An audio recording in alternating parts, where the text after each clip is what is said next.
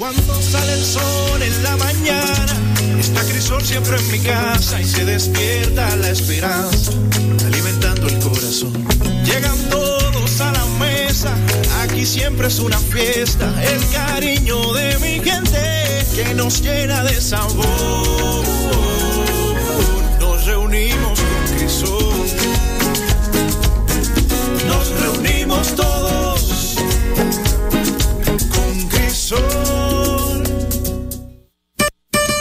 Cuando sale el sol en la mañana, está Crisol siempre en mi casa y se despierta la esperanza, alimentando el corazón. Llegan todos a la mesa, aquí siempre es una fiesta, el cariño de mi gente que nos llena de sabor. Nos reunimos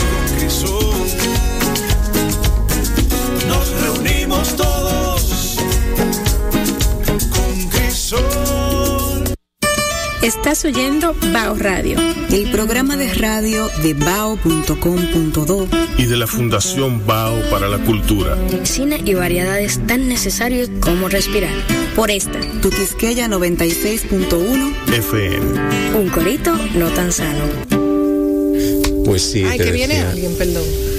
No, no, no, no viene nadie, no te preocupes. El DJ, señores, le- les aclaro, él se entusiasmó. Entonces puso un corrido del jingle de Crisol, que son muy merecedores de tener todos los jingles puestos aquí. ¿Tú me entiendes? Sí, porque al César lo que es del César. Crisol es la única marca que nos ha apoyado hasta el momento y Crisol tiene, tiene, tiene sus méritos por eso. Entonces, si a alguien le vamos a dar crédito a Crisol, entonces, eh, pero también fue con el jingle de nosotros y con todo lo que. Pero bueno, él tiene derecho, el DJ tiene derecho también a, entusiasmarse. Si yo me entusiasmo, tú te entusiasmas, él se entusiasma, todos nos entusiasmamos. Eh, no vamos para parte, no, pero bueno, ahí estamos.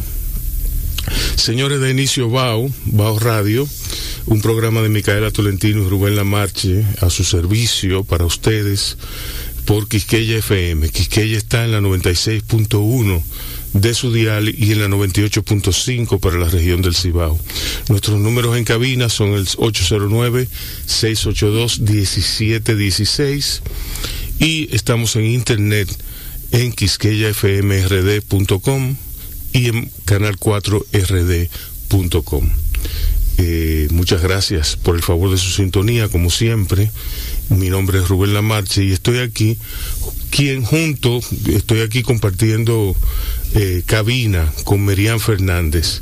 Merian, que es una colaboradora de BAO, ya autoconfesa. Eh, ¿cómo, ¿Cómo dirías tú? Como auto, autonombrada. Bueno, eh, yo Sí. aprendo de ti y aprendo de Micaela Sí. y por eso estoy aquí. Sí. Porque uno tiene derecho a coger lecciones gratis. Wow. Yo me he ganado ese derecho. Sí, no, no, está bien, está bien, en buena lid.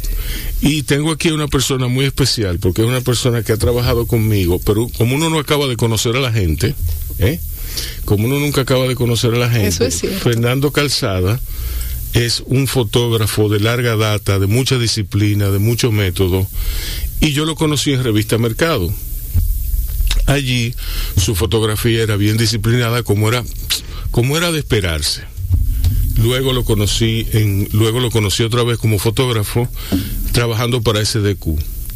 Y ahí fue otro viaje nuevo con Fernando Calzada.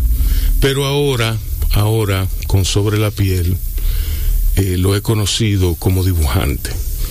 Y señores, es espectacular la disciplina que él le lleva, que él le pone al dibujo. Porque el dibujo es otra cosa, el dibujo es, es, es otra cosa. Es el, el inicio, la génesis de la pintura, pero es otra cosa. Entonces, Fernando, bienvenido. Muchas gracias Rubén, un placer estar aquí con, con ustedes y, y, bueno, contigo por eso, porque como bien has dicho, eh, nuestras andanzas en, en común eh, datan ya pues de hace como 21 años, si Ay, mal no Dios recuerdo. mío, no tenía que decir la fecha. Ok. hace un par de décadas. Sí, sí, sí. Allí fue que nos conocimos, allí que allí fue que en la revista Mercado que, que Sí. arrancamos la- las colaboraciones conjuntamente. Y bueno, sí, evidentemente ha llovido mucho de- desde entonces Sí. porque aunque yo desde ese tiempo a- hasta la fecha he estado he seguido trabajando como fotógrafo, bueno, pues desde hace un, un tiempito, hace unos años, decidí retomar un poco mi formación artística plástica y eh, embarcarme en este proyecto de sobre la piel que son- es una exposición que está actualmente en el Museo Fernando Peña de Filló eh, consta de 23 dibujos y son dibujos con la técnica del hiperrealismo, fotorrealismo, y son desnudos masculinos y femeninos. Y entonces, explícame eh, cómo, cómo, la, cómo, se, cómo se opera la génesis de este nuevo, es un nuevo artista, hablamos de un nuevo artista. Yo creo que más que un nuevo artista es un artista que estaba un poco dormido. Era un artista Tú siempre, que... tú siempre has... Sí, lo que pasa que eh, yo siempre he sentido la necesidad de, de volver a esos orígenes míos, a esa, a esa Sí. primera formación eh, como artista plástico, que fueron estudios que yo realicé en, en mi ciudad natal, en Valladolid, en España. Eh, estuve cinco años en la Escuela de Artes de Valladolid y ahí me gradué eh, en una especialidad de, diseño gráfico y tal, pero los tres primeros años fueron de lo que llaman los tres eh, los años de comunes, ¿no? Que es donde tú estudias todo, todo lo que es la formación artística plástica, es decir, dibujo artístico, dibujo técnico, modelado, vaciado, escultura, pintura, teoría del color. Todas las asignaturas que tú das en Bellas Artes, Exacto. en cualquier escuela Sí, de artes. sí. Ahí es donde yo me formo como artista plástico, pero ¿qué pasa? Que en este tiempo descubro la fotografía como asignatura y me enamoré. Fue una, un, un- un Instantáneamente, flechazo, sí. instantáneamente. En ese momento en mi ciudad no había, no había estudios de fotografía superiores. Entonces, bueno, yo decidí acabar esos estudios en Valladolid, pero ya mi mente estaba totalmente eh, que yo quería ser fotógrafo. Entonces ahí me fui a otra ciudad al cabo de los años mm, a Oviedo en este caso, a otra escuela de artes y allá me formé y me titulé como técnico superior en fotografía. Ok. Ese es un ¿Y poco qué pasó el- con la pintura entonces en ese interín? ¿Quedó olvidada, Sí. rezagada? Eh, quedó rezagada, quedó Sí, rezagada. no olvidada. No, para nada. De Sí. hecho, de hecho, desde hace ya muchos años yo sentía la necesidad, mi cuerpo me lo pedía. Pero mm, como bien has dicho, soy una persona de método. Sí, Entonces, de rigor. Sí, Sí. eh, se, me daba nota, se, se nota en el trazo, se nota en, en el Goya que hay aplicado ahí. Sí, sí. Eh, pero lo cierto es que, que, que, bueno, pues yo sentía esa necesidad y, y fue hace como cinco años que empecé a dibujar. Empecé a dibujar un poco a nivel privado, sin que la gente supiese, sin que la gente conociese, salvo mi, mi pareja, que era la única persona que, que estaba al corriente. Sí. Eh, y entonces me di cuenta de que, de que se me daba bien. O, o no se me daba mal. Yo, yo tengo una pregunta. Sí. Dijiste, el cuerpo me pedía pintar. Correcto. Me llamó la atención eso. Mm, Bueno, más que el cuerpo, la mente. E- Eso, Sí, eso era lo que quería sí, tratar sí. de comprender. o Sí, sea, pero también el cuerpo. Y te voy a decir por qué. Yo soy una persona, eh, digamos que soy un poquito nervioso y, y- y necesito estar ocupado constantemente. ¿Qué ocurre? Que yo soy fotógrafo freelance, entonces... eh, Eso te da mucho tiempo libre. Exactamente. mucho- Hay temporadas al año eh, que yo tengo muchísimo trabajo y tengo que darle para allá eh, mm, sin compasión. Pero hay otras épocas del, del año que, sin embargo, pues mm, no tengo tanto tiempo, no, no tengo tanto trabajo, entonces tengo mucho tiempo libre. Y ok, uno, uno lo, lo aprovecha, lee, hace ciertas cosas. Haces a mí me gusta mucho hacer deporte también, perfecto, pero mm, sentía que yo necesitaba hacer cosas con mis manos, trabajar con mis manos. Y por eso fue que de alguna manera yo, el cuerpo me lo venía pidiendo desde hacía tiempo que yo tenía que volver a reencontrarme un poco con ese trabajo manual que yo durante tantos años lo estuve practicando. Y que me, me, parece que en el caso específicamente del dibujo, lo, lo poco que he podido eh, percibir, eh, lo, lo poco que he podido conocer, más allá de, de una persona que puede consumir arte, es que es una terapia. O sea, una persona y te lo digo porque a mí a mí por eso te pregunté lo del cuando cuando dijiste el cuerpo me lo pedía, te lo pregunté porque yo recuerdo que yo en una reunión de trabajo tomaba, o sea, en mi en mi cuaderno, yo estaba escuchando lo que se hablaba en la reunión naturalmente, pero yo hacía como unos trazos. Y eso como que me calmaba y me ponía como en la disposición de escuchar. Pero te tengo otra pregunta. sé, que te, sé que te gusta. Ajá, Dudley, exactamente. Sé que te gusta la fotografía, lo dijiste, y te formaste pero sí, pero, eso, es lo que le da, lo que le da el dinero. Eso, esa era mi pregunta. Eso es lo que me permite pagar facturas. Y mucho. Esa era mi pregunta. Fernando tiene un bote ya. Esa era mi pregunta. Y una casita en la playa. Mi pregunta era, mi pregunta era, ¿elegiste entre la pintura y la fotografía por un tema comercial, o sea, mercantil? No, no, fíjate qué pasa, que yo cuando, cuando descubrí la fotografía era todavía muy joven y, me enamoró, o sea, sencillamente me enamoró. Yo, yo descubrí en la fotografía eh, un medio de expresión eh, increíble. Entonces yo sabía que yo tenía que formarme, yo tenía que convertirme en un profesional. Y para ello yo tenía que estudiar, irme a un lugar donde yo pudiese formarme y demás. En ese momento yo tuve la posibilidad de irme a, Oviedo, como les digo, me formé, estuve durante dos años estudiando fotografía y ahí me empapé de lo que era eh, toda la parte técnica, pero también toda la parte un poco, digamos, filosófica de, de lo que es la teoría de la fotografía, conoces a los grandes maestros de la fotografía empiezas a educar el ojo y empiezas a trabajarlo y a partir de ahí mm, te das cuenta, en mi caso me di cuenta de que la fotografía era lo que más me llenaba en ese momento. Estamos hablando de hace ya eh, más de 25 años de aquello. En todo este tiempo, la fotografía ha sido la base de mi trabajo, mi medio de subsistencia, pero lo cierto es que en todo este tiempo eh, he ido cubriendo muchos campos, muchas áreas de la fotografía, pero no han, no han llegado a satisfacer todo lo que yo sentía que me iba a aportar. Y sobre todo, la, digamos, la parte más artística, la parte que yo entendía que necesitaba expresarme como artista, nunca llegó a, nunca encontré en la fotografía ese soporte para yo poder expresarme mm, así tan abiertamente. Que es un poco lo que les ha pasado a colegas, porque cualquiera que me escucha dirá, o sea, ¿tú qué pasa? ¿Que entiendes que la fotografía no es arte? qué mal agradecido. Efectivamente. no, no, yo estoy muy agradecido. De hecho, la fotografía siempre va a estar en mi vida.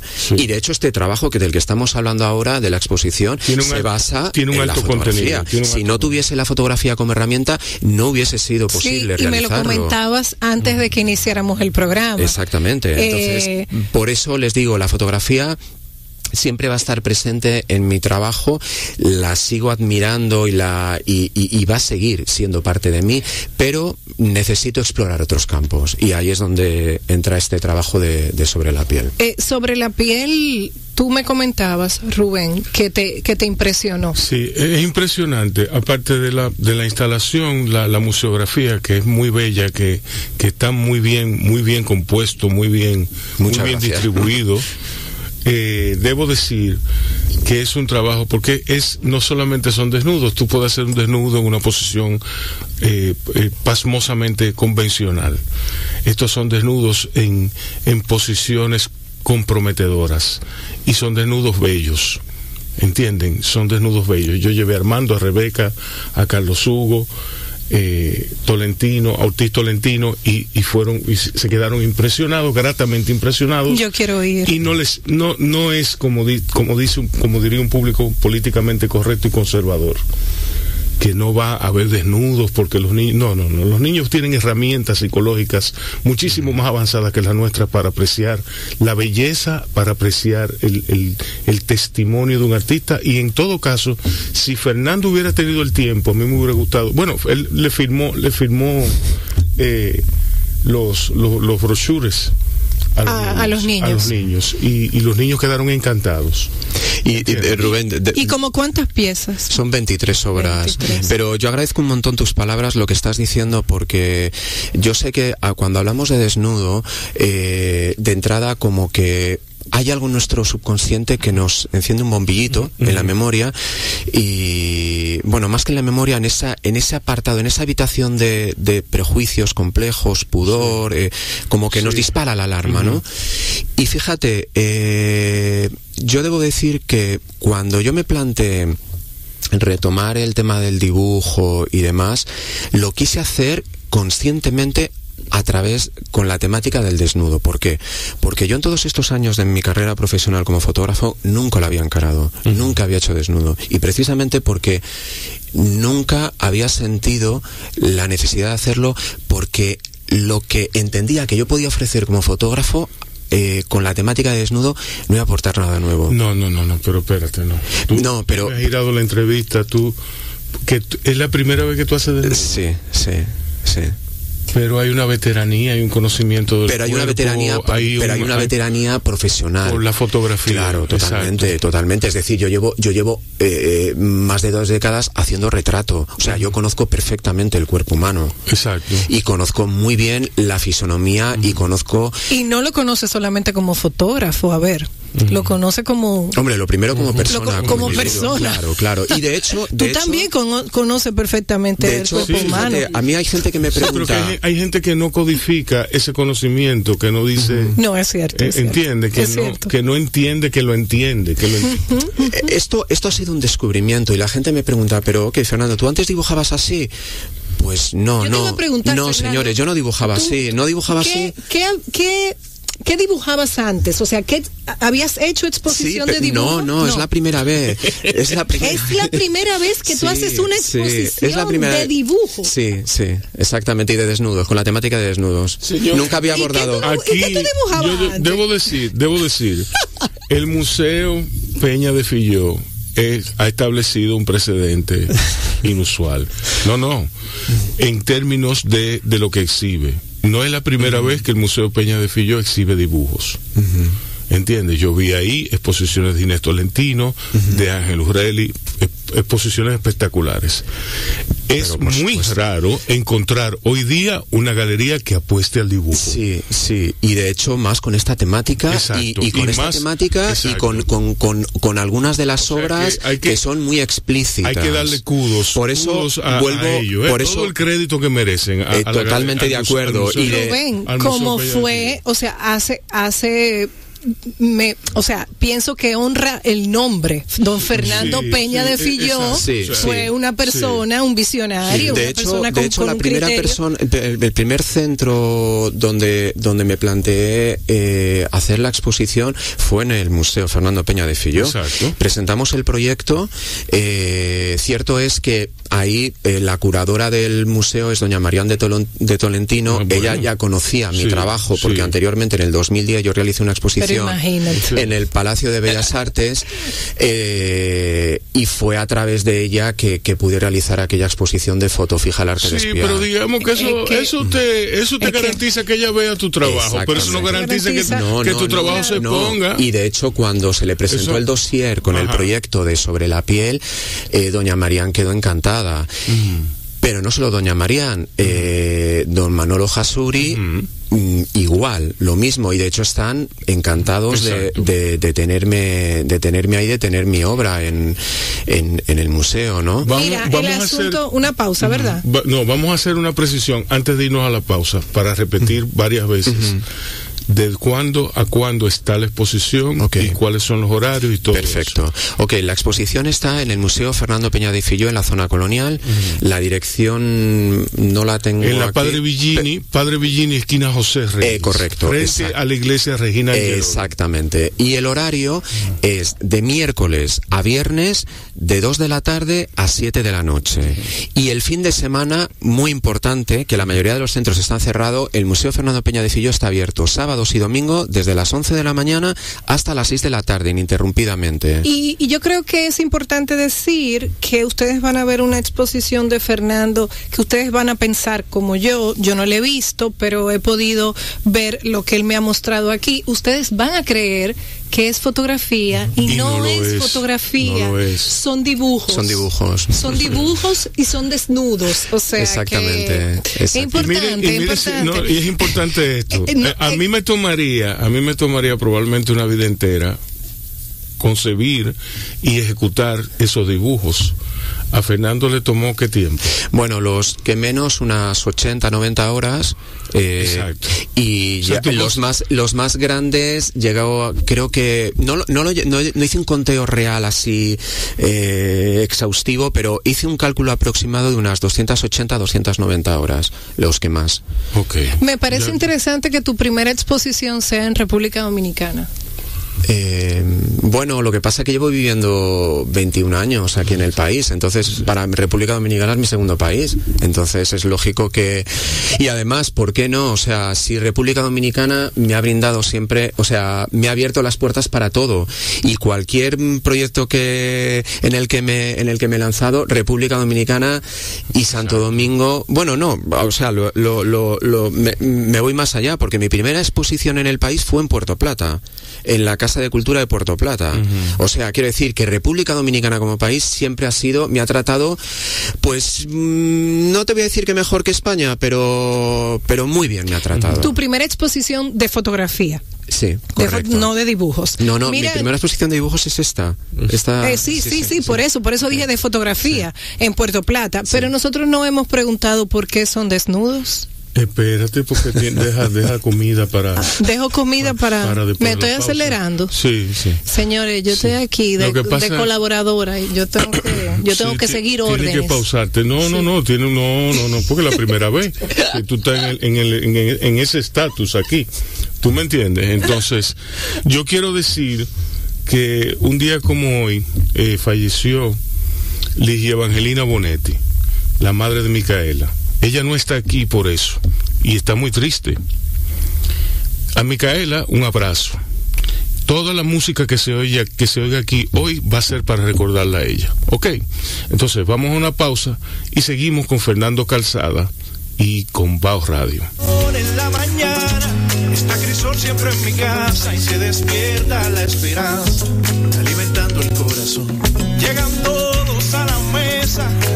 Siempre es una fiesta. El cariño de mi gente que nos llena de sabor.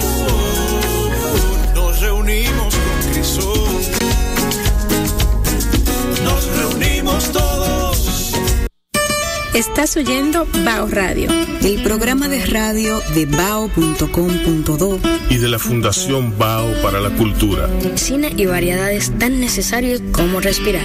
Por esta, Tu Quisqueya 96.1 FM. un corito no tan sano.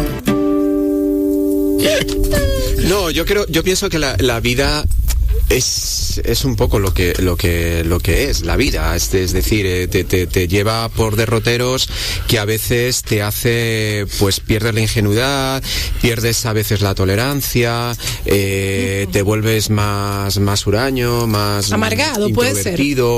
No necesariamente, o sea, o por circunstancias de la vida te hace, digamos, ser lo contrario. O sea, todo depende mucho de, de lo que te toque vivir y por Claro, dónde. claro.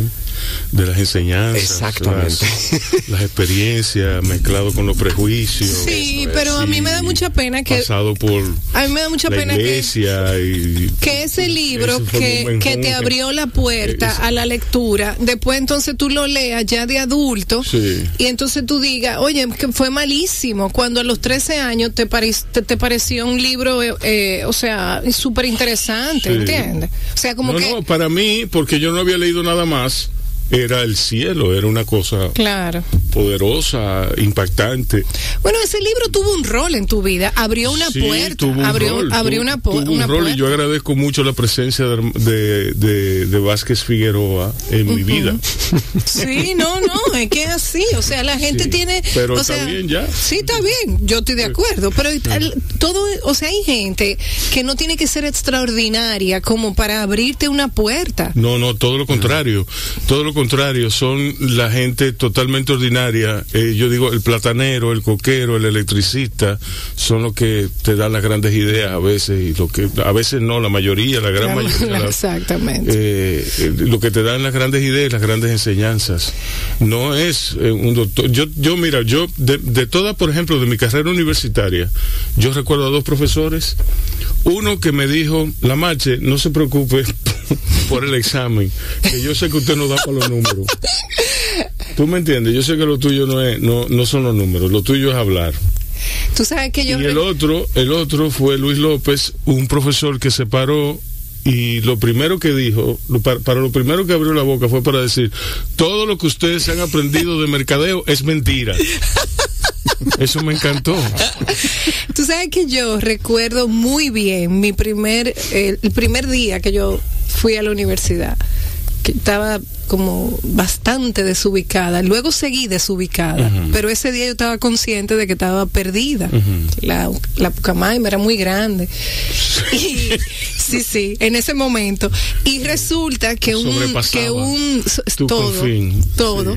Y resulta que que un jesuita, un profesor jesuita, me mira a mí específicamente de toda la gente del aula y me dice, usted va a sufrir mucho. Me sentenció ese caballero. O sea, yo lo ando buscando para que me dé el número de la loto. Sí. Porque ya que, ya que él fue tan acertado, yo no lo sé. Él entendía, él como, yo luego Bueno, traté en su de- beneficio era jesuita. en su beneficio era jesuita.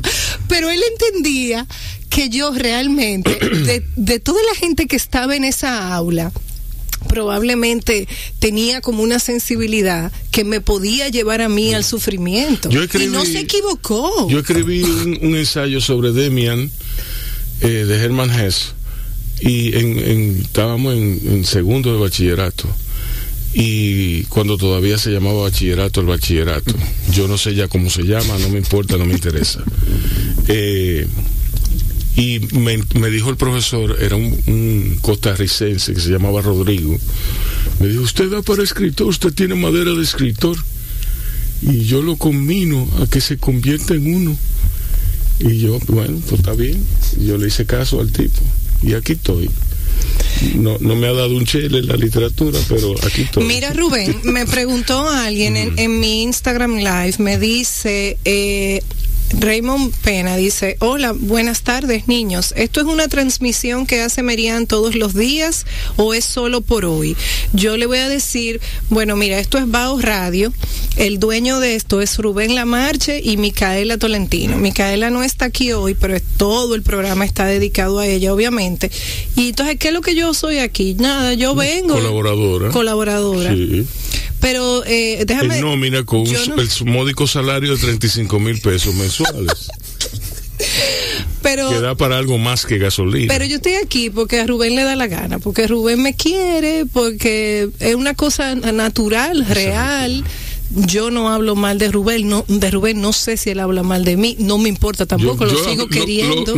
Lo, lo que, de mal que yo pueda decir de ti, yo te lo digo en tu cara. Siempre, pero siempre, pero que eso a mí, yo estoy en un momento de mi vida donde eso a mí no me importa, porque yo, tú estás tú estás por encima de eso. Ya, ya tú estás en un lugar diferente. O sea, tú puedes Yo decir lo que tú quieras. puedo ir al supermercado con eso. No. No, ok. Cuando yo pueda ir me avisa. Mira, nos quedamos en lo de por qué desnudos. Ok. Vamos a saludar a Juan Manuel. Ok. Perfecto. Señores, Juan Manuel Peña está aquí. Sí. Él nos está oyendo muy pacientemente. A mí me gusta pensar que él se está divirtiendo. Pero yo lo traje a él con toda la maldad y alevosía posible. ¿Por qué? Porque él es financiero. Él es una persona que aplasta números, que se come los números. Entonces yo lo que yo lo, traje a él para la segunda etapa de este programa. Él es el asesor financiero de BAO. ¿Entienden? Él es el, el- el- el- el columnista, el, el- el, locutor financiero de BAO y el asesor. Él viene aquí a decirnos cómo nosotros podemos hacer dinero como artistas. Ok, él viene con una labor muy específica y una responsabilidad siniestra, si se quiere. Hola. Eh, wow. Eh, No, wow, no, bao, bao. Bao. Bao. qué bueno descubrir los- las verdaderas intenciones. y Fraganti. Aquí preguntan lo que es Bao Radio. ¿Qué es? Ajá, ¿qué es? Bao es una compañía eh, que produce este programa, que es una creadora de, de contenidos por internet y que tiene este programa de radio para darle, para, para completar una sinergia que, que se, que se va a da- que, que se va a dar a través de Bao Films, Bao Radio y Bao Web y con sus repercusiones en las redes sociales. Y yo voy a estar de alguna manera. Vamos con bueno. Juan Manuel. Pues excelente. Eh, primero, darte las gracias, Rubén, por esta invitación. Eh, recordando De cuando, nada, de nada. cuando nos conocimos y ahora Sí. vamos a hacer esa historia. Eh, y un placer saludar a Marianne, amiga de tanto tiempo, y, y fuimos padres juntos en el colegio de nuestros hijos. Ajá. Y conocer a Fernando en esta ocasión, admirando tu trabajo. Muchas gracias. Impresionado, conociendo que eso fue tu primera exposición de dibujo. Y como dice eh, Rubén, eso parece parece una foto y es, eh, es impresionante lo que vi. Y estoy deseoso de conocerle ya en persona en el museo. Bueno, eh, como bien dice Rubén, eh, yo me dedico al área financiera, de formación económica, de, de economía.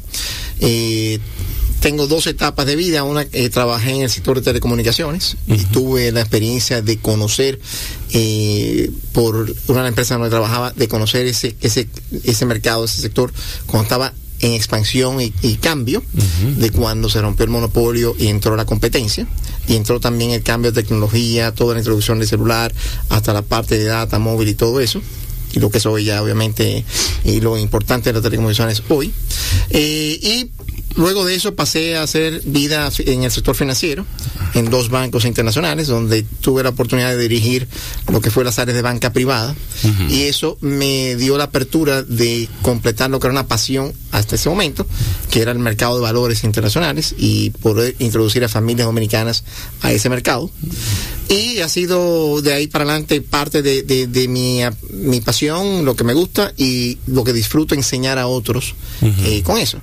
Eh, luego de eso me... Pero ven, que, que una persona es, es indicado que él esté aquí, él debe estar aquí. De acuerdo. Debe estar acuerdo. aquí, agradezcamelo, cógelo, porque Claro que sí. Gracias, Rubén. Gracias. un placer, un placer. Para Claro mí es un sí. placer estar aquí de verdad. Pero a la pregunta, la, la pregunta que Rubén, eh, o sea, lanzó, o sea, Sí. la razón por la que tú estás aquí, de cómo los artistas podemos hacer dinero, hay que agregar cómo los artistas que no son populares pueden hacer dinero y pueden tener una carrera sostenible haciendo algo que aman. Porque los que son populares, yo creo que no tienen problemas, Rubén.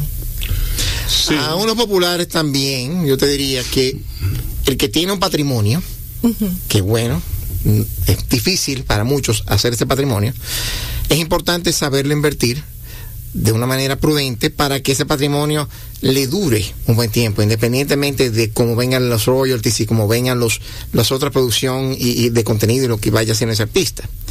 Pero eh, estamos en un momento interesante eh, porque se están dando muchos cambios tecnológicos que aquellos artistas que quieran destacarse, primero hay mucho más plataformas para darse a conocer con, lo- con las redes sociales. Obviamente el que el que se quiera dar a descubrir Obviamente tiene que estar bien amarrado, bien alineado, tener buen contenido que sea interesante y que se pueda destacar con tanto contenido que hay. Pero por lo menos hay una oportunidad de que si uno es un artista aquí y quiere que alguien de Australia lo conozca, Claro. o si a alguien de Australia le interesa ese tipo de arte, en algún momento, dependiendo de qué tan creativo y qué tan activo y constante sea con, con- con su estrategia de, de- de redes sociales, se irá a conocer. La otra cosa muy interesante eh, es lo que se está viendo últimamente en las noticias con lo que son los non-fungible tokens, los NFTs. Eh, ustedes han visto últimamente que se han dado diferentes eh, subastas donde arti- diferentes artistas han podido vender obras digitales pero que tienen ese identificador especial, que son NFT, ahorita les comento un poco más de cómo funciona eso, han podido vender a precios interesantes en subastas y de repente se abre la oportunidad para aquellos creadores de obras de, de arte digital de poder tener una forma de que su arte, que es muy fácil de copiar, tenga uno que sea el original y que a alguien le interese comprar ese arte. Y de repente también aquellas compañías que eh, hoy se están moviendo hacia todo lo que es streaming y, y eso que estás haciendo Rubén es interesante porque esa es la nueva tendencia. Exacto. Uno ve, uno ve un Disney que tiene ese gran imperio. eh, vio el, el primer paso que hizo Netflix y tuvo que sacar Disney Plus y de hecho está creciendo a un ritmo mucho más fuerte que lo que estaba Netflix en ese mismo tiempo. Entonces se está viendo que hay cada vez más el contenido tiene un valor y tiene un valor porque mientras más tú vayas aumentando esa, esa carpeta de contenido, pues entonces mucho más va a poder eh, dimensionarse y monetizar ese valor a futuro. Entonces hay, hay muchas oportunidades para los artistas poder hacer eso. Óyeme, pero eh, el, ti- el tipo, tú ves, el tipo Controla, ¿eh? Controla. Sí, sí, no, el tipo, el tipo tiene la bola. Eh, Que si el programa está en TuneIn. Sí. En on- no, en online, yo lo he escuchado. sí, yo no sé dónde que está el programa. El programa está en cualquier plataforma. Online Radio Box. En cualquier plataforma que transmita radio, como Radio Garden, eh. Radio Box, eh, Windows Media Player, eh, Quisqueya FM, eh, Quisqueya RDF.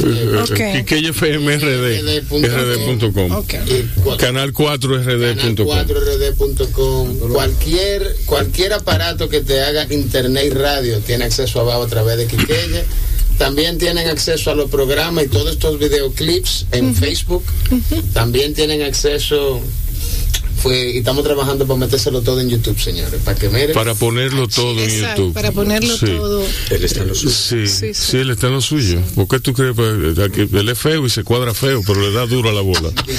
Sí. Mira, eh, a mí se me ya ya est- estamos en una época diametralmente distinta a la época cuando todo empezó, que tú vendías un cuadrito por internet y tenías que enviarlo. Eh, ¿Tú entiendes? Ya ya hay hay miles de cosas. Por ejemplo, en la radio, la gente quiere oír radio, pero no quiere que le digan cuándo. La gente quiere, la gente, yo, yo estoy aquí en Quisqueya ahora, pero nosotros tenemos que distribuirnos a través de todas las plataformas y a través de todos los formatos de audio que hay para poder capitalizar el esfuerzo. Sí. así es, ¿Entiendes? así y es. así lo tenemos que hacer en video y así lo tendremos que hacer en, en la web, con los textos, con las fotos, con el arte, con todo. Entonces, es muy sencillo. Lo único que se me ha ocurrido a mí ha sido, pero ¿por qué no hacerlo mancomunadamente? O sea, no es que tú y, y que tú, que tú, Fernando Calzada, y tú, Juan Manuel Peña, y tú, Miriam Fernández, van a poner dinero. No, es que ustedes me van a, me van a proveer de los trabajos y yo los comercializo.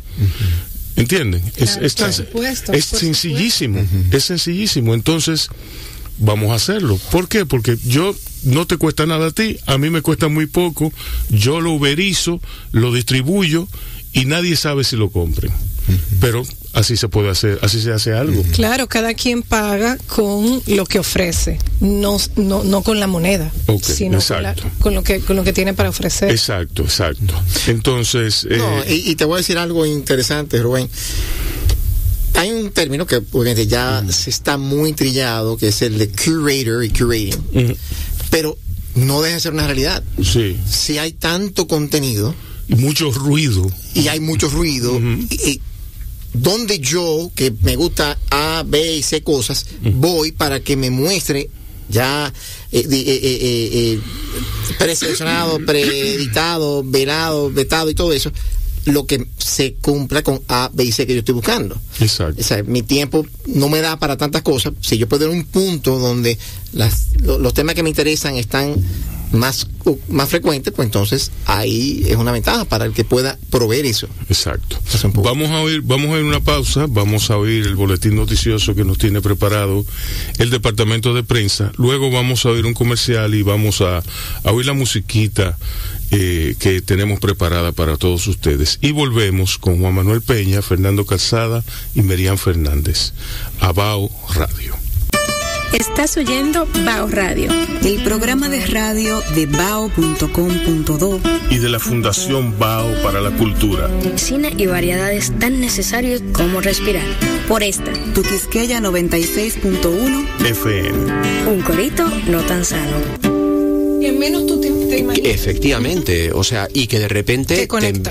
te, te empieza a seguir, le empieza a gustar tu trabajo y a mí me está pasando un poco, ¿no? Con, con el tema este de de los dibujos, como de repente en Instagram, eh, que es donde yo realmente me, me manejo como, como eh, plataforma así como red social, y, y es increíble, o sea, hay una comunidad ahora de, de- del mundo árabe que me está siguiendo que le encanta.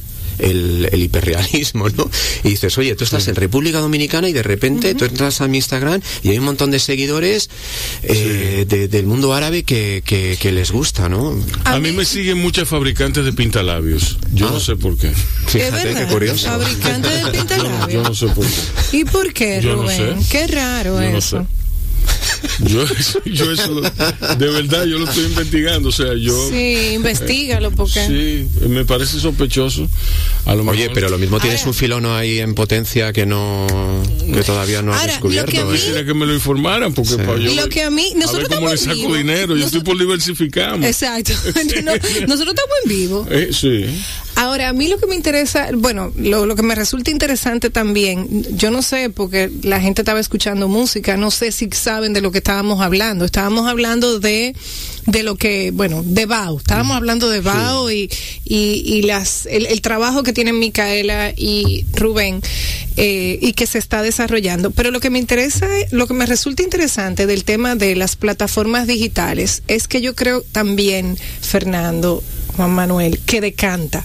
¿A qué me refiero con lo, lo de, de cantar, como el mar, como el mar decanta la sal?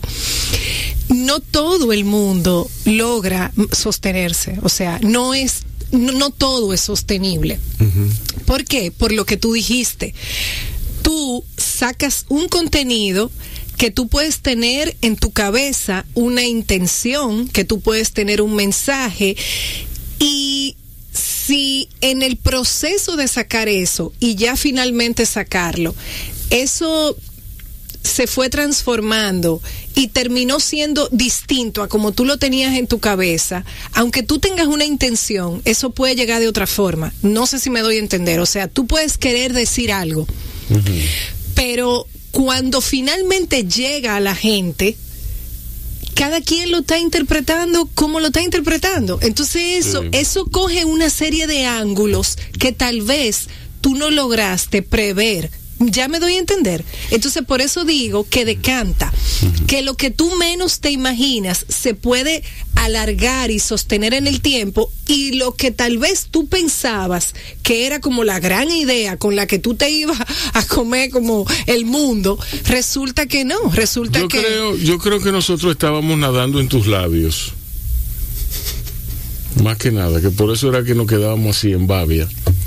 En serio, Rubén, Sí, o sea, que lo que yo dije... No, porque No. tú hablas muy bonito, tú hablas bonito y tú articulas. entonces- No, pero, pero lo que dice Marianne, eh, por ejemplo, uno se pone a ver los temas Ay, que se vuelven. no me haga eso. Los te temas que- amo, pero no me haga eso. Hay- bueno, pero hay temas que se vuelven virales y, por ejemplo, que son creadores de contenido y eso, dicen, no, esto que yo voy a hacer, tú vas a ser súper viral, entonces va a volver. Y no se vuelve y nada. no se vuelve nada. Eso- eso es lo que y yo de estoy repente, y de diciendo. repente quizá otra cosa que uh, Simple. hizo ese creador de contenido, como así, de repente Sí. eso fue lo que se volvió viral. Mira, eh, eh, yo, yo le estoy diciendo por algo que a mí particularmente me pasó. Yo hice un proyecto de televisión que cuando yo lo desarrollé, ese proyecto en mi cabeza, Conversaciones sobre el Futuro, fue un programa de temporada, pero tuvo varios años, estuvo en Telesistema y estuvo también en, en Colorvisión. Era una conversación, Fernando. Eh, ese proyecto, cuando yo en mi cabeza, yo comencé a escribir preguntas, a trabajar en, en, guion y todo eso, o por lo menos lo que yo entiendo que es un guion, que obviamente con, con la, la, academia, el peso y, y, lo que conoce Rubén, posiblemente está muy lejos de ser un guion, pero a lo que voy es, cuando yo lo tenía en mi cabeza, yo tenía un, algo en mi cabeza eh, así que me, que me latía. Yo decía, Dios mío, yo quiero que cuando la gente vea el programa de televisión, no pueda cambiar el canal. O sea, no pueda, no pueda, no pueda ni ir al baño. Era cortito, duraba 25 minutos. Y cuando yo editaba, que era yo la que editaba, yo lo hacía como con esa... Eh, con esa energía de que la gente no pueda cambiar el canal. Mira, yo te juro por mi alma, por mis tres hijos, por mi mamá, que es mi, como mi cuadrante. Que a mí la gente en Twitter, en ese momento de mi vida que yo llamo el Viejo Testamento, pues yo tengo un Viejo y un Nuevo Testamento, en ese momento a mí la gente en Twitter me escribía, no puedo cambiar de canal. O sea, tal cual como yo lo había pensado en mi cabeza. Sin embargo, bueno. hay cosas que yo he hecho, otras cosas que a mí me parece que desde el punto de vista de contenido son mejor y no han llegado a ningún sitio. Y yo, entiende, juraba que iban a llegar a algún lado. O sea, lo que y aquí ya estoy hablando de redes sociales, porque lo que yo lo que yo conté ahora tiene que ver con televisión, que es un medio tradicional, pero la plata, las plataformas digitales decantan y sacan a la gente, así como la, la, no, las mantienen. Han de, no, ah, sí. la, mira, en Estados Unidos ABC, NBC y cuál era la y CBS, CBS ¿eh? eran los tres poderes. En los años 70 no se podía hablar de televisión sin hablar de esas tres cadenas. Uh -huh. Esas tres cadenas, la manera en que llegaban a lo profundo de los Estados Unidos era a través de subarrendatarias. ¿Verdad? Ese era, ese era más o menos el contrato y de, de empresas de cable y todo eso. Esas cadenas hoy por hoy forman parte de conglomerados mediáticos que enfatizan tanto la gestión de Internet como la gestión de televisión. Así es. Esa es la única forma en que han podido sobrevivir. Así es. Si no, uh -huh. hubieran salido del juego hace, hace mucho, mucho, tiempo. tiempo. Así es. Y yo estoy seguro que es así en España también. Sí, sí bueno, y de hecho. Con los periódicos, exacto. con todo. Sobre con todo, todo, yo creo que el ejemplo más claro lo vemos con la, con la prensa escrita. Exacto. En la prensa escrita en España ha habido una evolución tremenda y de hecho han muerto, por sí. así decirlo. O sea, sí. revistas que eran emblemáticas uh -huh. y que, y que lamentablemente no han podido sobrevivir a, sí. a estos tiempos de tecnología, sí. de al final, bueno, yo creo que es eso, estamos estamos en un momento de cambio a nivel mundial desde hace yo creo que de, en esta en esta década de los 10 es donde donde se han definido un poco las bases. No yo creo que no sabemos muy bien todavía hacia dónde vamos. Pero todo esto está cambiando. Pero tú sabes por qué yo señalaba eso de que las plataformas digitales decantan, o sea, de la misma manera que te dejan dentro uh -huh. en el movimiento, te uh -huh. sacan, uh -huh. porque yo creo que vamos a volver al origen. ¿Y, ¿Y cuál es el origen? es genuino lo que tú ofreces, es algo que tú amas, es algo que te gusta, es algo que en lo que verdad tú tienes talento Yo, y tienes hay algo. Que introducir, hay que introducir la noción de el de la persona que es el publisher, el mercadólogo y el, el todo, el todo sí. de, de, de, su contenido. Por ejemplo, uh -huh. en, en Facebook antes de BAO yo tenía mi contenido, uh -huh. mi, mi de, del cual yo era el mercadólogo y yo, era, yo soy el publisher. Uh -huh. ¿Tú me entiendes? Cada cual es dueño de lo que publica, uh -huh. cada cual es dueño de su palabra, cada cual es dueño del contenido que, que regula. Esta, esta, esta ola de democratización de la internet, de, de, las redes sociales y de todo, más que, más que nada de las redes sociales, lo que nos trae es un sentimiento de que nuestra palabra tiene que ser oída. ¿Entiendes? Uh -huh. Y no tiene que ser oída, no tiene ni siquiera que prevalecer. Exactamente. ¿Entiendes? Lo cierto es eso. Eh, para tú hacerte oír, tú tienes que publicar cosas que escandalicen. Y ahí es que viene el problema. Eh, el problema, ¿por qué? Porque Por entonces eso- viene un problema de ruido. de ruido. Bueno, pero ahí ahí te voy a decir mi cierto, si te quieres, depende de lo que tú quieras hacer. Si lo que tú Claro, quieres es que depende darte- mucho, Sí, depende sí. mucho del contenido. de- Pero lo que pasa es que, porque, eh, perdón, Sí. Juan Manuel, eh, lo que pasa es que eso que Rubén está diciendo, eh, con qué yo, yo, o sea, con qué yo creo que se relaciona directamente. ¿Para qué tú quieres ser oído? Tú quieres ser oído, tú quieres ser escuchado, porque tú estás buscando likes, porque tú estás buscando Porque no eh, te dejan hablar, no te dejan hablar en tu casa, en tu comunidad, no tienes derecho. No, porque yo me refiero, yo no, porque yo yo estoy hablando de la gente, por ejemplo, que profesionalmente quiere vivir de las plataformas digitales. Cuando tú Ah, no, yo dices, te hablo, yo te hablo de cualquier hombre. ah, tú hablas de cualquier, ah, ok. Bueno, pero, Pero, pero tomemos tú entiendes, pero, pero, pero tú entiendes Sí. el punto, o sea, eh, la gente, o sea, es que él dijo una palabra importante, escandaloso. Mientras más morbo, mientras más escándalo, mientras más chisme, más disputa. O sea, por eso yo decía ahorita, tú que estás en el mundo financiero, como un artista que ama lo que hace, una persona como Fernando, que es eh, un, artista que, dibu- es un es un fotógrafo que dibuja además y, y sabe Dios cuántas cosas más hace en términos de artes plásticos. Eh, Se puede decir así, arte Que es capaz de hacer también, Exacto. porque que- Eh, las artes como una plásticas son persona, como una persona así que probablemente impacta a un nicho, pero no es popular, puede realmente vivir de lo que ama, de lo que le gusta, porque cuando porque por ejemplo, por más que Rubén quiera, ojalá que sea así, porque yo quisiera que fuera así, pero Bao Radio no va- no es para todo el mundo, o sea, no, es tiene- a los foques, no, es a los foques. Pero ahí vamos. O sea, primero, lo bueno es que ahora hay tantas formas de no tener que ser todo para todo el mundo. Exacto. ¿Por qué? Porque ahora, ¿qué pasa? ¿Qué dice la estrategia? O sea, Michael Porter, que es el padre de la estrategia eh, corporativa. Si, si hay tanta gente, si hay tanta competencia, es muy difícil tú tratar de, de hacerte sentir que tú eres el más grande, que tú eres más eficiente. Que tú- tienes que ya que ser una competencia de nicho. Y tú decir, bueno, mira, ¿qué es lo que yo le voy a aportar a este nicho? Lo bueno de esto es que uno dice, bueno, eh, yo soy un artista que me concentro en hacer este tipo de arte. ¿Cuánta gente en República Dominicana le gusta ese tipo de arte? X cantidad de gente. Oye, yo con ese que- X cantidad de gente no, No me puedo co- so- so- no puedo sostenerme. Pero ¿qué pasa? Cuando yo junto esa cantidad de gente en República Dominicana, más esa cantidad de gente en este mercado, en este mercado, en este mercado, en este mercado, de repente, lo que es un nicho, que quizás hay dos o tres gatos aquí, de repente cuando tú sumas varios gatos en varios países diferentes, tú te destacas a ser de los mejores en ese nicho. Entonces, para mí, eh, número uno, eh, lo que tú decías de, de escandaliz- la especialización. de, de- de Ujú, escandalizar sí, y sí. Mira, depende de lo que tú estés buscando. Si lo que tú quieres es llamar la atención, bueno, ahí están las Kardashian que hicieron famosas eh, con, con todo lo que hicieron de jóvenes, ¿verdad? Exacto. Pero vamos a, si tú te quieres dejar a conocer en lo que tú haces, tienes ahora la oportunidad de tantos medios, de tantas formas, de darte a conocer con eso que específicamente tú haces. Quizás antes era muy difícil que alguien te difundiera eso.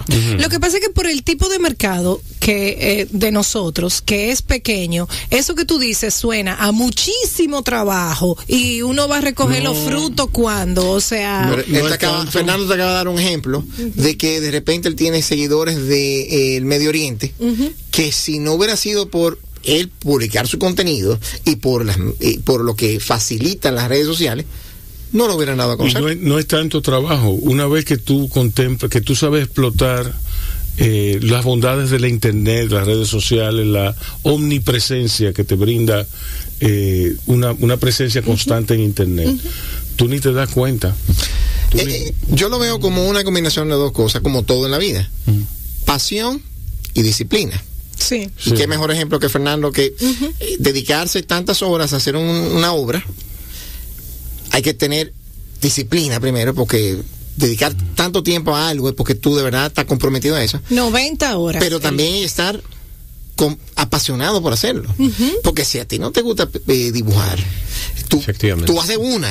Ah, mira, yo hice un cuadro, pero tú no vuelves a hacer tantas más que toman mínimo. Eso fue lo que 90 yo horas. quise decir ahor- ahorita. Lo que yo quise decir, decir ahorita es que yo de en verdad creo que tanta exposición de tantas maneras distintas se le ve a la gente el refajo. ¿A qué me refiero?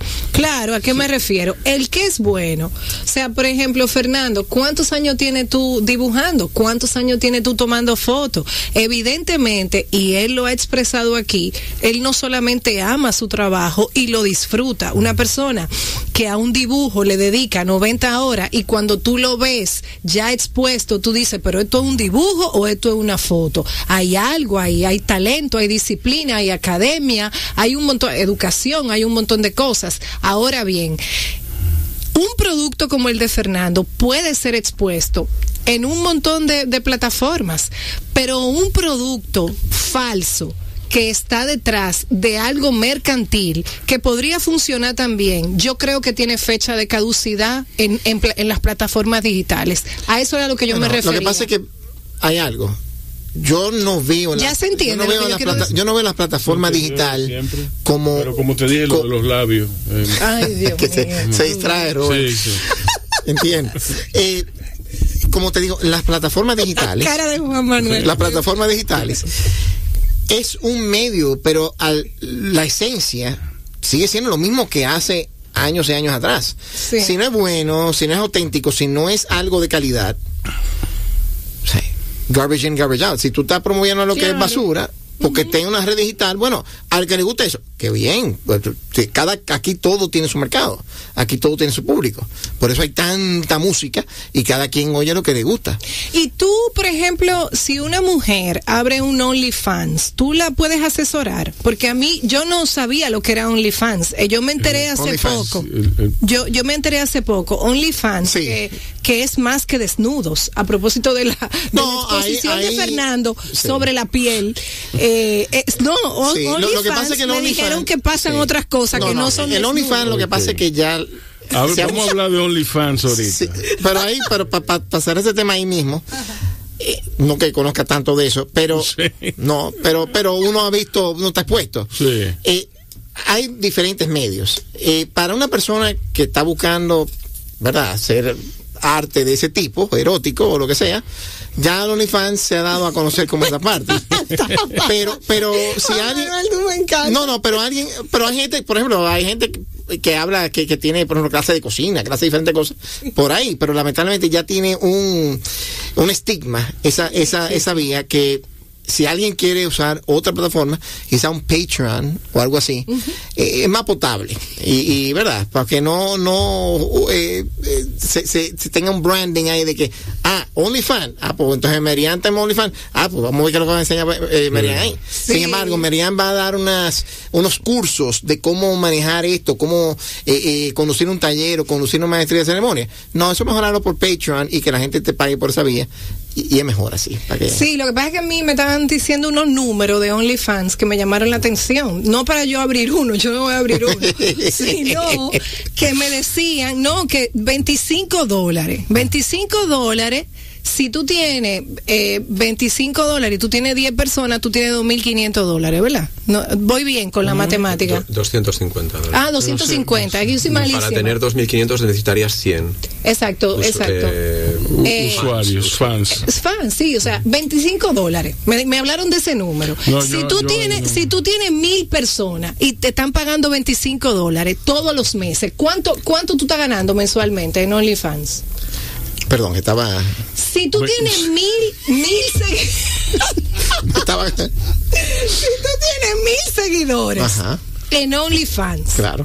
y te están pagando 25 dólares con la tarjeta de crédito, ¿verdad? Que tú pusiste. Sí. Te están, o sea, ahí tú le cobras Mil 25 seguidores, 25 dólares, 25 mil 25 dólares. dólares. 25 mil dólares mensuales. Sí.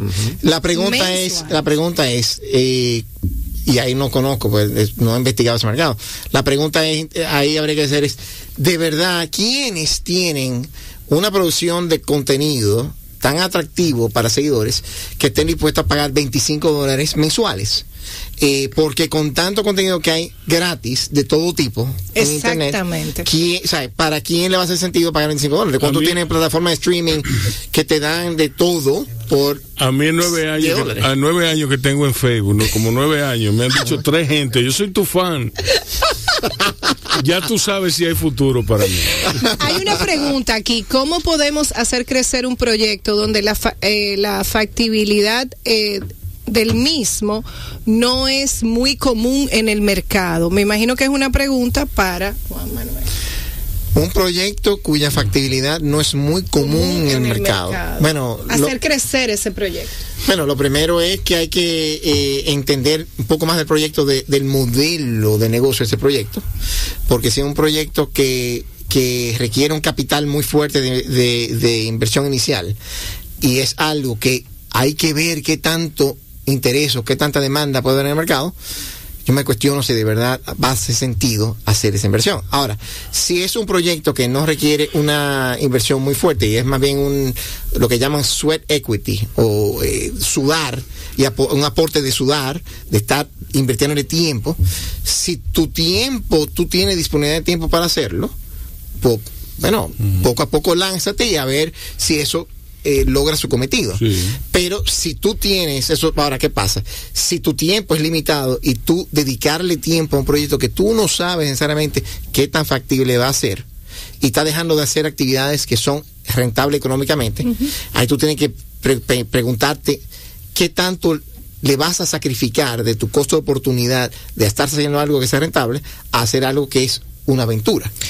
Mira, eh, Juan Manuel, eh, yo quería preguntarte con relación a, por ejemplo, a sobre la piel en el Museo Fernando Peña de Filló, que es la exposición de Fernando de dibujos.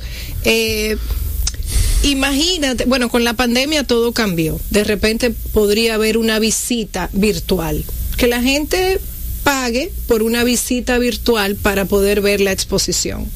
Eh, en el caso, en este caso, la gente puede ir a la zona colonial, al museo, incluso los fines de semana, y puede tener la experiencia en vivo. Con entrada gratuita, como dice el... el- Por supuesto. Es- exacto. Eh, Pero te hago la, la pregunta del tema virtual porque recientemente hubo un concierto de Mark Anthony virtual donde, bueno, mucha gente, obviamente, toda la gente que le gusta Mark Anthony, que le gusta su música, eh, compró su boleto y yo lo que digo es, porque la vida cambió después de la Sí. pandemia y creo que van a venir más cosas virtuales. Correcto. Eh, eso desde el punto de vista económico para un artista, porque yo vi que Marc Anthony puso eh, una, él hizo unas declaraciones de que él iba a asumir como 20 millones de dólares, una cosa así. Sí.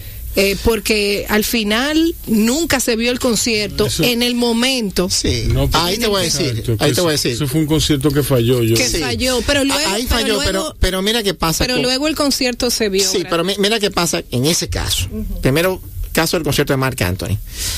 Que no tengo a mano la cifra exacta de todo eso, eh, de lo que se dejó de percibir. Pero para la marca Mark Anthony, el haber quedado mal porque no se dimensionó correctamente la cantidad de demanda streaming, no se hicieron Exacto. eh, todas las pruebas o todo Fue que eso. colapsó. Colapsó. Fue que colapsó, ajá, Exacto. fue eso. Porque primero hay una cosa, si tú, tú tienes que dimensionar y tener una buena asesoría tecnológica, decir, bueno, ¿hasta cuánta gente podemos tener aquí en esto? Pues entonces, es el límite de la cantidad de tickets que vamos a entrar. Exactamente. Se acabó. Y calculamos ahí cuánto es y entonces vendemos eso como si fuera un estadio. Ahora es, en vez de ser un estadio, un estadio Tú virtual. tienes un aforo y te limitas a vender entradas. Yo lo que me pregunto, yo Pero- lo que me pero, pregunto es si eso, si eso, si eso se va a poder lograr. Pero, perdón, que la gente virtualmente, porque Sí, yo- pero perdón. ¿Qué pasa? Si tú quedaste mal con tus fans, tú tienes que hacer algo para que tu marca no sea afectada. Entonces, lo que hizo, decir, no, mire, vamos a devolver tanto y vamos a hacerlo gratis, fue la mejor salida.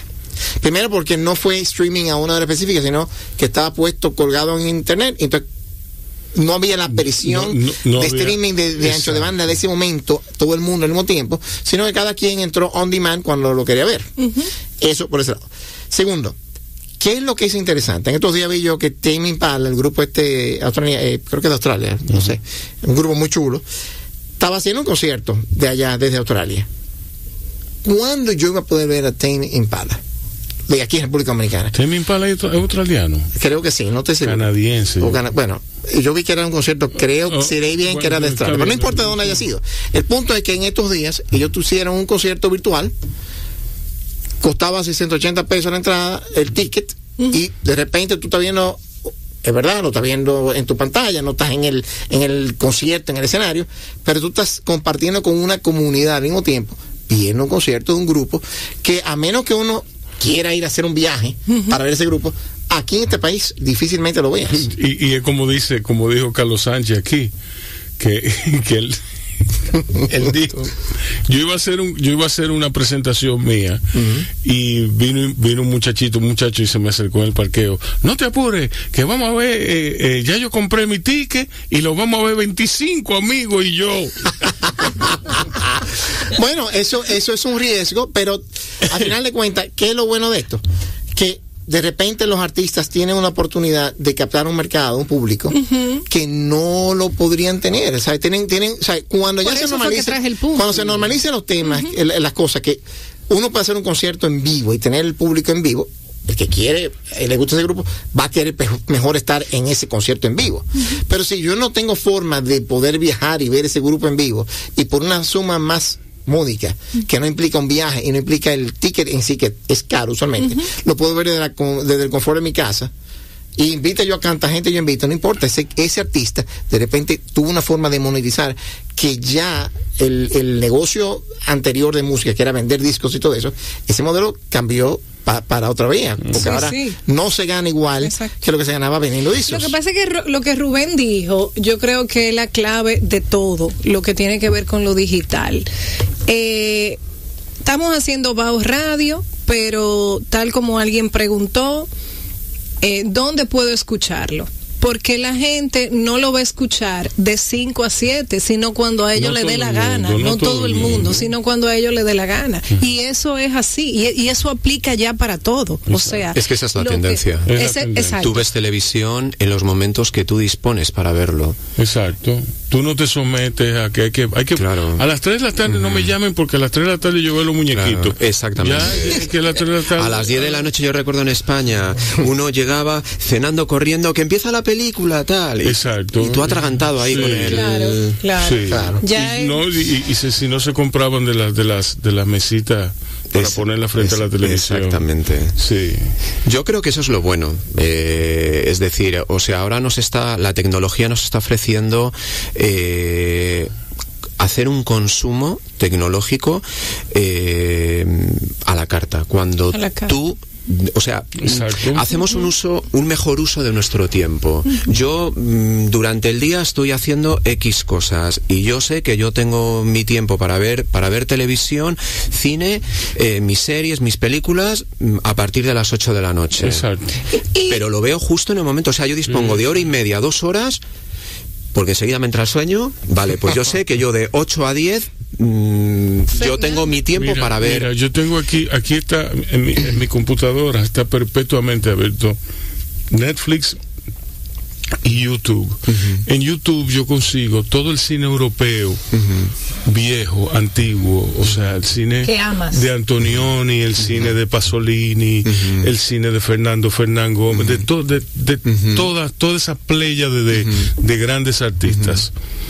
Eso yo lo tengo ahí, on hold. Y yo he aprendido a utilizar, guardar, he aprendido a utilizar to- todas mis- todas las herramientas propias de la, de Sí, la sí, tecnología. sí. Para mí el streaming es milagroso. Claro, es lo mejor Claro, del mundo. claro, claro. ¿Por qué? Porque tú puedes ver lo que te da la gana Eso cuando era lo te que da yo iba la a gana. decir, lo que te da la gana lo que te da la cuando te da la gana. cuando te da la gana. Lo que te da la gana cuando te da la gana. Entonces, partiendo de lo que te da la gana cuando te da la gana, hace sentido lo que Juan Manuel decía de vayamos a un nicho, o sea, ese querer llegarle a Raimundo y todo el mundo, ya eso pasó, Exacto. ya eso Exacto. pasó. Entonces vamos a una pausa, luego, ahora vamos a hacer la pregunta obligada aquí, que no se la voy a hacer ahora, pero vamos a una pausa, seguimos a la vuelta con Fernando Calzada resumiendo eh, la experiencia de su exposición eh, eh, bajo la piel, Sobre la piel. sobre la piel, perdón, que está en el Museo Peña de Filló. Eh, y seguimos con Juan Manuel Peña, quien nos da unos consejitos financieros, y con María Fernández, quien me hace el coro hoy en ausencia de Micael y pasando la prueba de fuego. Eh, luego de aquí nos vamos eh, para para las terrenas en el, en el barco, en el yate de, de Juan Manuel. Agradeciéndole muchísimo a sus clientes. Sí, porque hoy es jueves. Sí, sí, entonces. ya eh, comienza el fin de semana. Sí, ya nos vamos, nos vamos con Juan Manuel y su esposa. Entonces, eh, nada, para allá, tranquilos, a, disfrutar. a estar con la naturaleza, que nos hace muy bien para el COVID. Quédense ahí. Cuando sale el sol en la mañana, está Crisol siempre en mi casa y se despierta la esperanza, Llegan todos a la mesa, aquí siempre es una fiesta. El cariño de mi gente que nos llena de sabor. Nos reunimos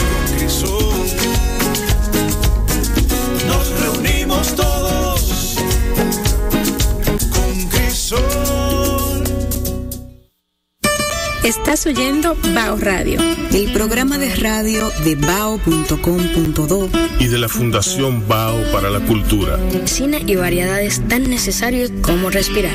Por esta, tu Quisqueya 96.1 FM. Un corito no tan sano. Miren, señores, eh, hablando, hablando como los locos, eh, ¿quiénes son las personas que... cada no, quien, habla, se lo puedo decir. cada quien habla como lo que es. No, mira. No, yo pregunto, tú, eh, pues, va y se te zafa. No, no, porque precisamente hay un contrato de confidencialidad que se firma. No, no, pero yo no esperaba un nombre. No, yo no esperaba. ¿Qué, quieres que te diga entonces? Que me, diga, por ejemplo, un fulano, eh, el que está allí es mi pareja, la que está allí es mi. Eh, ¿Tú me entiendes? No. la relación personal. ah, pero entonces tú hiciste los dibujos con una persona, o sea, tú tenías unos modelos. Yo, les cuento, les cuento cómo fue brevemente. Sí, sí, por favor. Eh, yo realizo. Cuéntanos la técnica utilizada, Fernando. sí, para ponerlo más profesional. Ok. Eso es lo que tiene ganas de saber quiénes son. Ok. ¿Entiendes? Bueno, yo lo que hago es que lo que lo que hice en este caso, hablamos ya de tiempo pasado, eh, realicé una, una, sesión fotográfica con cada uno de los con cada uno de los modelos. Eh, yo escogí a varias personas con unas condiciones físicas determinadas y mm, yo digamos que tenía una idea previa de lo que quería conseguir con cada una de ellas. Realicé una sesión fotográfica y de ahí eh, hice una preselección de lo que a mí más me interesaba y por último ya escogí las fotos que me interesaba dibujar. Eh, ¿Por qué utilicé esa metodología?